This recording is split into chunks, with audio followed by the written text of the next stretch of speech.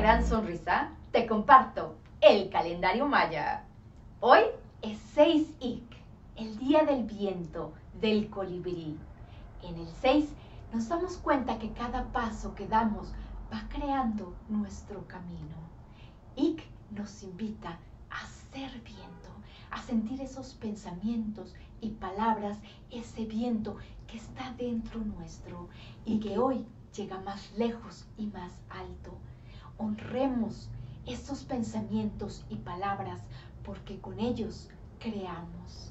Y en esta trecena con Cabán, que todo este conocimiento lo podamos caminar para que entonces lo transformemos en sabiduría.